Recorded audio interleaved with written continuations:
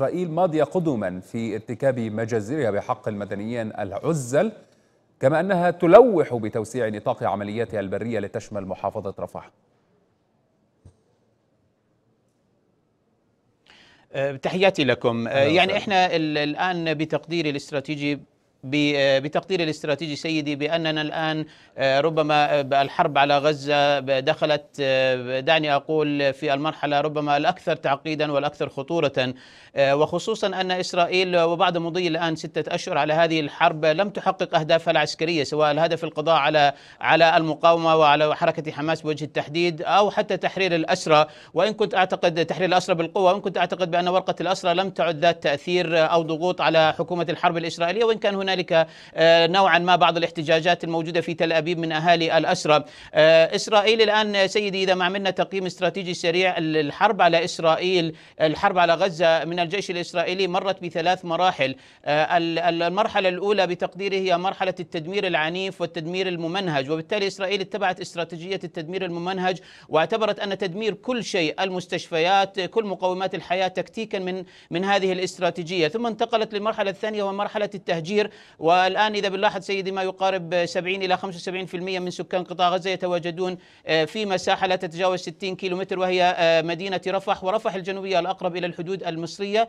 والآن انتقلنا إلى المرحلة الثالثة وهي التي برأيي هي الأكثر خطورة والأكثر تعقيدا وهي إحكام الحصار مرحلة التجويع. قلنا التدمير التهجير ثم التجويع. التجويع هنا مرحله إحكام الحصار على على النازحين في أماكن تواجدهم بهذه الكثافة السكانية وبتقديري بأنها تذهب بتحويل قطاع غزة وتحويل المناطق التي يوجد فيها أكثرية فلسطينية من النازحين الآن تحويلها إلى أماكن أو مكان غير صالح للحياة مما قد يدفعهم مستقبلا إلى الهجرة أو أو, أو التحرك باتجاه الحدود المصرية إن لم يكن هنالك حلولا في الأيام المقبلة. إسرائيل سيدي لا زالت بتقديري تذهب بالتلويح باجتياح مدينة رفح على الرغم أن المظاهر العسكرية حتى حتى هذه اللحظة لا توحي بأن إسرائيل تذهب الآن إلى الاجتياح في هذه الفترة. لكن هي ماضية وهنالك قرار منذ منتصف فبراير الماضي. كانت إسرائيل اتخذت قرار بأن يكون هنالك اجتياح لمدينة رفح وتم إرجاؤه بتقديري إن كان هنالك اجتياح سيكون في منتصف إبريل القادم بسبب الضغوط الأمريكية والضغوط من القوى الإقليمية إلى إلى حين الأخذ بما تذهب إليه إسرائيل. الآن إسرائيل طيب. تضغط ولكن ما هي ما هي الأهمية الاستراتيجية؟ للمقاومة بشكل مباشر. دكتور إبراهيم ما هي الأهمية الاستراتيجية نعم. لإسرائيل بالدخول إلى رفح. يعني هنالك إصرار إسرائيل على الدخول إلى هذه المحافظة الجنوبية التي تؤوي حوالي مليون ونصف المليون فلسطيني حتى هذه اللحظة. بتقدير سيدي الاستراتيجية الإسرائيلية تذهب بشكل مباشر الآن إلى ضرب الحاضنة الشعبية للمقاومة. بعد أن بعد أن فشلت دعني أقول بتدمير المقاومة وبالتالي أو إخراج الأسرى بالقوة الآن كما تحدثت هنالك مليون ونصف تقريبا فلسطيني نزحوا إلى هذه المدينة الصغيرة جدا 60 كيلو متر مساحتها ضرب الحاضنة الشعبية بتقديري الآن هو الهدف الأكبر لإستراتيجية إسرائيل الممنهجة في تدمير قطاع غزة. ومن ومن بعد الحاضنة الشعبية بدأت تلوح للضغط بشكل كبير على المقاومة. هنالك معلومات استخباراتية قدمتها الولايات المتحدة الأمريكية إلى إسرائيل بوجود ما يقارب ثلاثة آلاف عنصر من كتائب القسام موجودين في رفح. هذا هذا المبرر الذي تذهب إليه إسرائيل للتفكير باجتياح رفح. لكن حقيقة هي تضغط باتجاه آخر بتقديري. والجانب الآخر من هذه الضغوطات ما تقوم به إسرائيل من خلال الولايات المتحدة الأمريكية بالضغط على الوسطاء سواء في مصر أو في قطر أو حتى الوسطاء الدوليين الآخرين لما يعرف بتفكيك أو حل الجناح العسكري لحركة حماس. وربما بتقدير سيدي هنالك معلومات استخباراتية شبه مؤكدة بأن إسرائيل قدمت إلى الوسطاء قائمة ب 167 اسم من قادة المقاومة وعلى رأسهم يحيى السنوار ومحمد السنوار ومروان عيسى. حتى هذه اللحظة دعت إسرائيل أنها قتلته لكن لا يوجد هنالك تأكيد من حركة حماس. وعلى أن يقوم هؤلاء القادة بمغادرة قطاع غزة بشكل آمل. وأن ثم الحديث إن كان هنالك قبول لحركة حماس أن تكون تنظيما فلسطينيا ضمن إطار منظمة التحرير الفلسطينية. بمعنى أن إسرائيل استراتيجيتها تذهب إلى محورين أساسيا. المحور الأول ضرب القاعدة الشعبية أو الحاضنة الشعبية للمقاومة وبالتالي قد تدفع إلى وجود احتجاجات من النازحين للضغط على حماس بقبول أي نوع من التهدئة.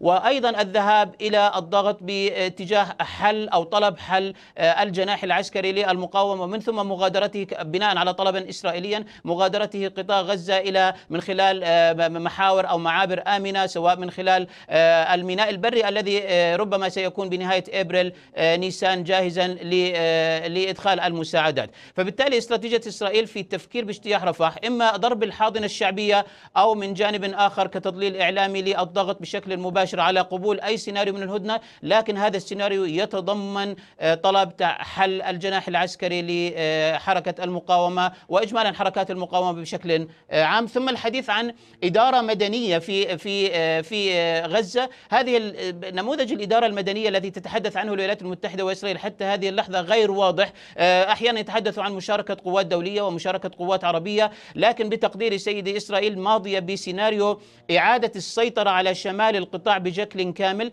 وفصل شمال القطاع عن الجنوب بدليل أن هنالك آه، طريقا إسفلتيا عريضا أنشأته في منتصف من بين المنطقة بين معبر إيرز ومنطقة الشاطئ فبالتالي هي فصلت بشكل نهائي شمال القطاع والآن حديث عن أن تكون المسائل الأمنية في شمال القطاع تابعة نعم. لإسرائيل ولكن هل, هل تستطيع دكتور إبراهيم آه، إسرائيل القيام بهكذا خطوة آه، أن تستقطع المناطق الشمالية وأن أن تقوم بالسيطرة عليها بشكل كامل؟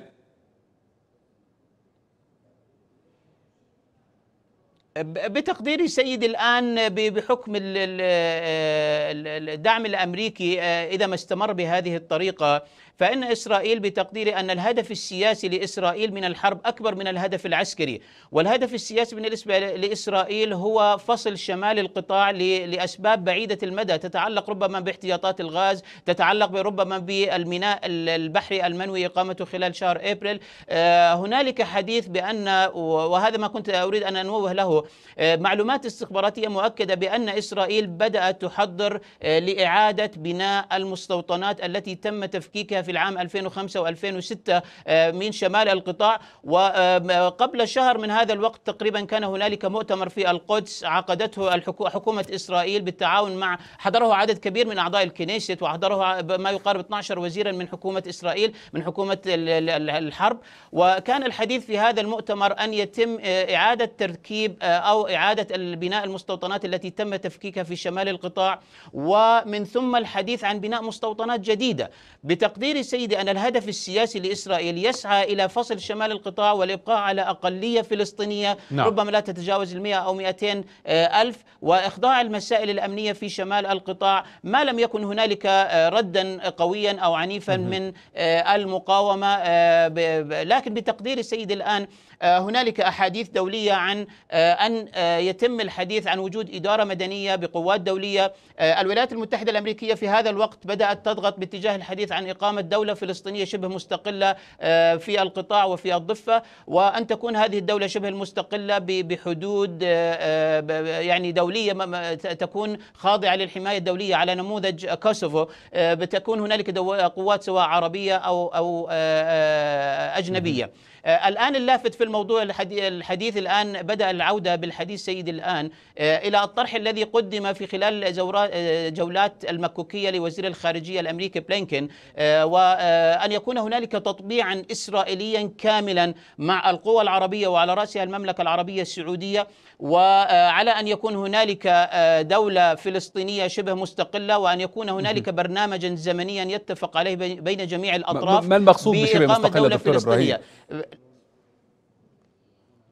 شبه مستقلة سيدي تكون الحدود لدولة فلسطين أو التي الوعد بقيام دولة فلسطين تكون الحدود آه، دولية خاضعة لقوات دولية مشتركة سواء قوات أجنبية وقوات عربية. وهذا النظام آه، سبق عمل فيه دوليا في نموذج كوسوفو وأيضا عمل فيه موجود الآن في نموذج قبرص التركية.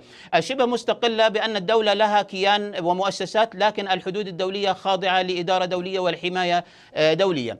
لكن بتقدير سيدي قبل الحديث الحديث عن أي نموذج أو أي شكل للدولة الفلسطينية القادمة بتقديري بأن الملف الأكثر صعوبة والملف الأكثر تعقيدا هو ملف إعادة الإعمار الآن. وهذا الذي يثير إشكاليات بين جميع الأطراف. حتما كما تعلم آه، إسرائيل بتقديري لن يكون لها دور في إعادة الإعمار على الرغم أنها هي نعم، من قامت بهذا التدمير الكبير. آه، تقديرات تقديرات إعادة الإعمار آه، آه، سيدي سريعا تقديرات إعادة الإعمار تتحدث عن 90 مليار آه، الفكرة بدي أوصلها سريعا أنه القوة التي تتحدث عن إعادة الإعمار تشترط بعدم العودة لوجود أي اشتباكات في المستقبل وبالتالي لابد أن يكون هنالك ضمانات نعم. ما بين القوى الفلسطينية وإسرائيل بأن لا تعود الاشتباكات في المستقبل